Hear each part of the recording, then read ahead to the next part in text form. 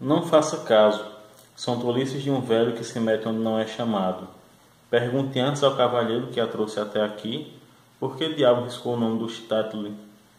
Pergunte-lhe até onde está disposto a levar as omissões. Desiludite, afirmou Eric. Já sabíamos que isso ia acontecer, não era? Oh, claro, acenou Yankel num tom jocoso. Mas logo no primeiro capítulo, esperavas o quê? Que terminasse a carreira a contar a história de um lugarejo? O Stetli era um buraco, um pedaço de floresta sujo de humanidade, a mais vulgar das maldições. Não merece duas linhas. Só lhe pego porque preciso de um palco para o romance. Preciso de pessoas. Preciso da merda toda que lá fizeram. Mas depois, ao resto. E o meu último livro tem de ser universal. Tragédias como aquela passaram-se em mil lugares. Quando falo de Stetli, falo deles todos. Então, para o diabo com o nome, não preciso dele para nada. Não me chamaste para falar de mil lugares. A história não se escreve assim. A história morreu, Yankel.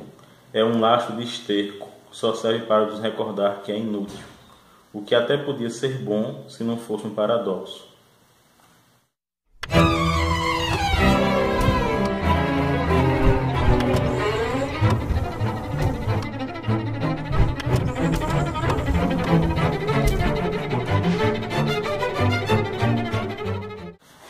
Em tempos de intolerância, será possível haver sanidade?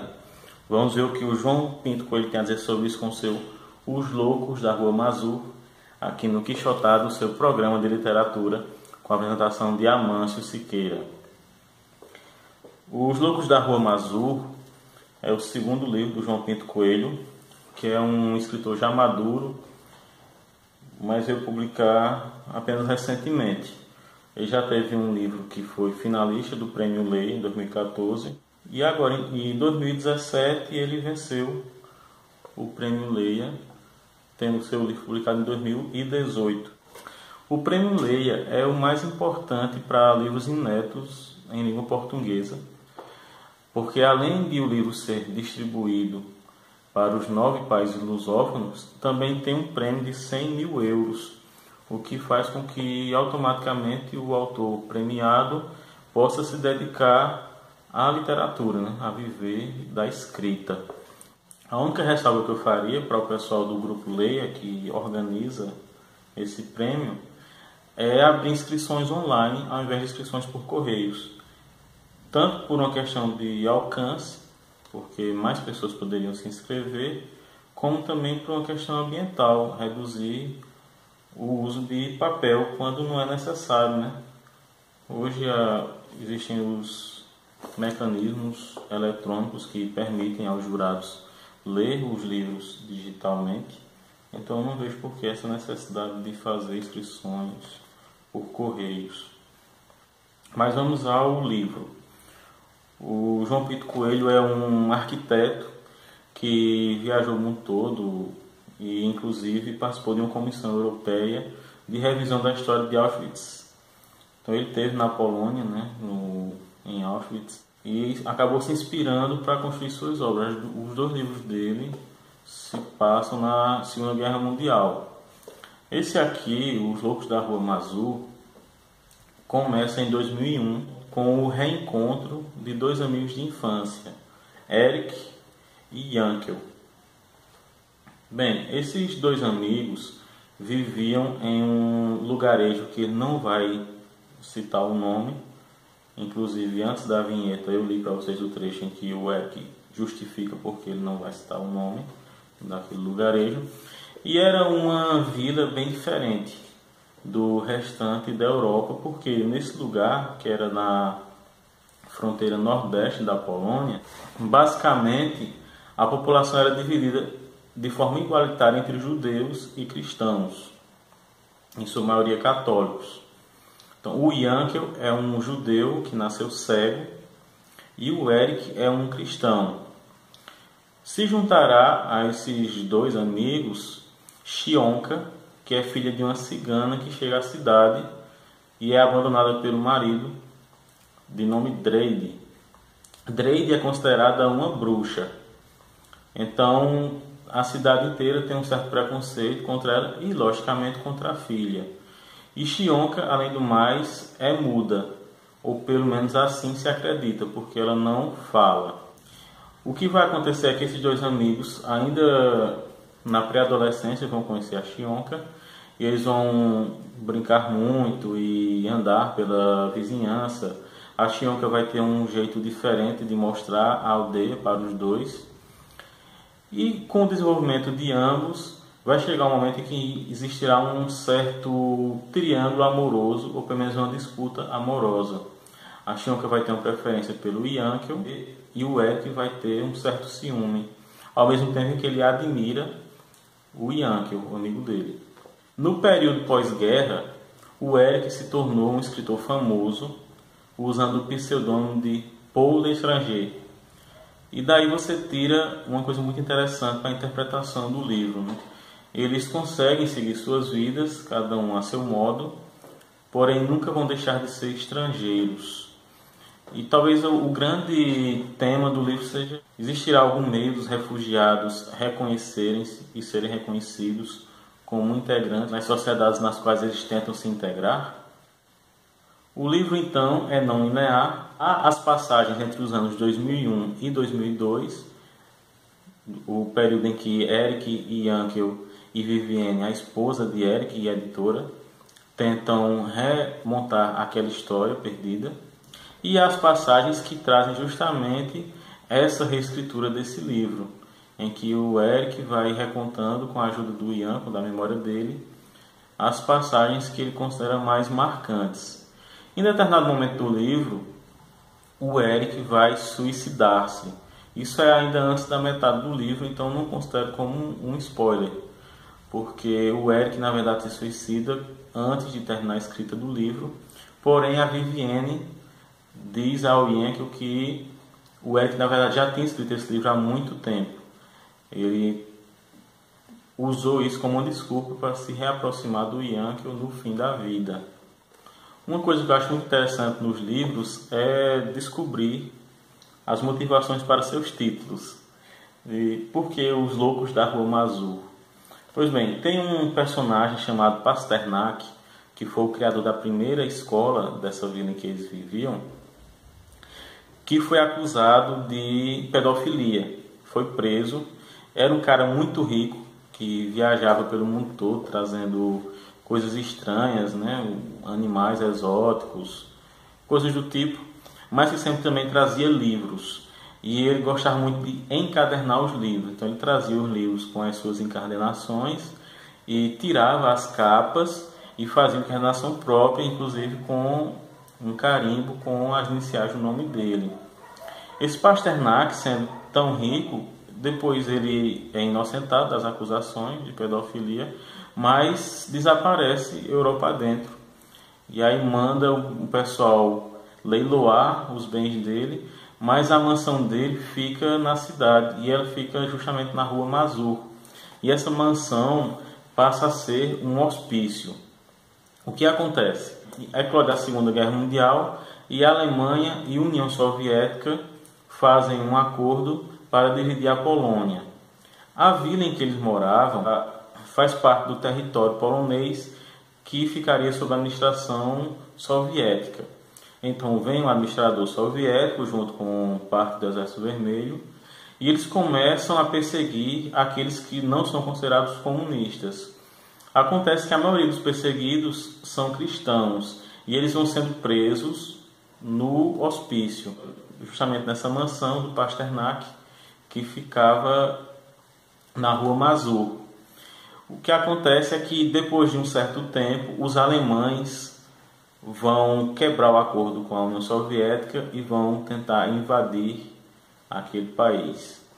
E eles vão passar, é claro, primeiramente pelo território polonês, que seria caminho para poder invadir a União Soviética. Na invasão, os soldados russos recebem orientação para deixar os seus postos, porque eles não teriam condições de enfrentar o exército alemão, eles teriam que, que fortalecer a fronteira soviética, e abandonam então a cidade. Os alemães vão passando então pela cidade, mas não dão muita atenção a ela, porque o interesse deles é, é enfrentar os soviéticos, controlar o império emergente, que eles consideravam como uma ameaça para o poder nazista. De, mesmo deixados, de certa forma, em paz pelos alemães, os judeus têm um certo temor, porque está acontecendo um levante dos poloneses contra os judeus. Esse é o grande moto do livro, porque o João Pinto Coelho queria tratar aqui de um fato real. Ele, inclusive, tem uma nota do, do autor explicando isso no final do livro. Ele diz que aconteceu algo semelhante em uma cidade polonesa, em que os cristãos se reuniram, prenderam todos os judeus da cidade em um grande celeiro e tocaram fogo. Só que aqui no livro ele ficcionaliza esses atos colocando os judeus dentro do hospício. Mas as, as descrições são muito fortes da violência que eles com que eles agem e é algo interessante porque veja só era uma vila em que metade das pessoas era judia e metade era cristã. E eles conviveram durante séculos nessa vila sem grandes atos de violência. Obviamente, sempre existia uma certa rivalidade entre eles. Em determinado momento, inclusive, ele diz que quando se sabia que existia uma mulher grávida de um dos lados da vila, logo casais do outro lado passavam a dormir mais cedo para tentar também obter uma gravidez e equilibrar a demografia do local. Pois bem, é, existe também essa rivalidade entre o Eric e o Yankel. E essa rivalidade vem não dessas questões é, religiosas, mas da Chionka, pela qual o Eric é apaixonado, e o Yankel também, embora ela dê preferência amorosa para o Yankel. E o Eric vê nessa perseguição aos judeus uma chance de finalmente ficar com a Chionka, livre do Yankel. Mas ao mesmo tempo ele fica também tentando uma forma de salvar o amigo. Existe esse conflito interno na mente do Eric, o que é muito interessante. E a Chionka, apesar de não ser judia, vai também se ver enredada no ódio da multidão dos polacos contra os judeus. Inclusive, ela junto com a mãe são presas e colocadas também dentro do hospício, onde eles vão atear fogo. Eu vou ler para vocês um trecho longo que mostra as descrições da violência perpetrada pelos poloneses contra os judeus em determinado momento da narrativa. Perla perdeu as forças no momento em que o pisou. Não pressou de olhar para saber o que calcara. Era tenro, morno, enredado entre as ervas. Sentiu o pé pegajoso, soluçou ainda antes das lágrimas. Tauba aproximou-se e olhou-lhe para os pés. Assim que viu o que era, virou-se de lado para poupar o filho. Mas agora era tarde, pelo menos para ela. Condenaram-se com aquela imagem, amaldiçoaram-se para sempre por ter visto o pequeno rosto distorcido, os braços abertos e o novelo de tripinhas. Era mais um menino do Vigele. Podia ter sido dela, podia ter sido de Perla. Que criatura de Deus faria uma coisa assim? A resposta veio de perto. Eram outras vezes as vozes, mas pareciam em maior número. E, para acabar de vez com a esperança, deram conta de mais gritos que chegavam do outro lado. A floresta estava a ser vasculhada por matilhas de selvagens, gentios desalmados no encalço dos judeus que fugiam entre as árvores, judeus como elas, judeus como a criança cujo sangue perla ainda esfregava agoniado na caruma. Como dois animais feridos, as raparigas voltaram a correr, nem os pés as detiveram, nem os gritos dos seus filhos. Correram por pouco tempo, já que de súbito a floresta interrompeu-se para dar lugar à terra onda em redor do lago. Só aí travaram, pondo-se a olhar em volta sem saber o que fazer. Foi então que os viram outra vez. Vinham de toda parte, cortando-lhes sem remédio qualquer caminho de fuga. Mas talvez ainda houvesse alternativa, a única razoável. Tauba e Perla lembraram-se das mãos surradas dos homens e das suas bocas podres. Lembraram-se também dos gritos das duas devassadas do Vigele das crianças nos passeios e do menino esfacelado no meio das ervas. Por isso, com os filhos apertados contra si e os pés metidos no lodo, caminharam em frente e de mão dada. O lago dava a ideia de uma poça de água choca, mas também podia ser o céu a derramar-se. Um e outro tocavam-se lá longe. o mesmo azul sossegado tinha de ser o lugar certo. Quisesse Deus fustigá-lo com o vento do Oriente, passariam a pé enxuto entre as águas divididas. Mas Deus não quis. Lá atrás, os homens iam estacando na areia molhada, pasmados a olhar para as mães. Viram-nas, enfim, parar, já com a água a meio do peito, rodando logo a seguir para ficarem frente a frente. Depois, trocaram os filhos, abraçaram-nos como seus e viraram-se para a margem lá ao fundo. Três passos depois, os cabelos flutuaram e deixaram de ser vistas. É claro que é uma descrição dessa violência, é uma descrição desse antissemitismo de repente pela vinda dos soviéticos e depois dos alemães, mas é um livro de personagens, personagens muito fortes. O Eric é um personagem muito interessante, assim como o Yankel e a Shionka. E nós vamos perceber ao final do livro que se tratava mais do presente do que do passado. É uma narrativa muito tocante. Tem um momento no final que é muito interessante, que, que é muito comovente, uhum. que não trata do massacre, não trata do passado, mas do presente. A narrativa do João Pinto Coelho é muito bem feita, é uma linguagem poética, como vocês já puderam ver, muito bem trabalhada. Os Loucos da Rua Mazur é também uma grande metáfora, porque veja só, eles incendeiam o hospício e a gente fica pensando: quem são os loucos?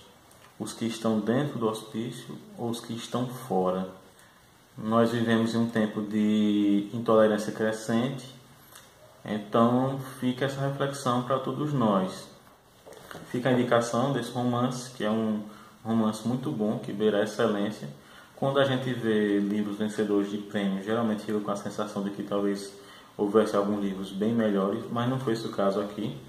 Se tinha algum livro inscrito que fosse melhor do que esse, eu acho que seria por uma diferença muito pequena, porque esse livro realmente é muito interessante. Fica a indicação não só para quem gosta de romance histórico, para quem gosta de Segunda Guerra Mundial, mas para quem gosta de uma narrativa bem trabalhada, de personagens bem construídos, é um livro realmente muito interessante. Não se esqueçam de inscrever-se no canal e acionar o sininho para receber as notificações com as novidades do programa. Deixem sua curtida e seu comentário e a gente se vê no próximo Quixotado, seu programa de literatura.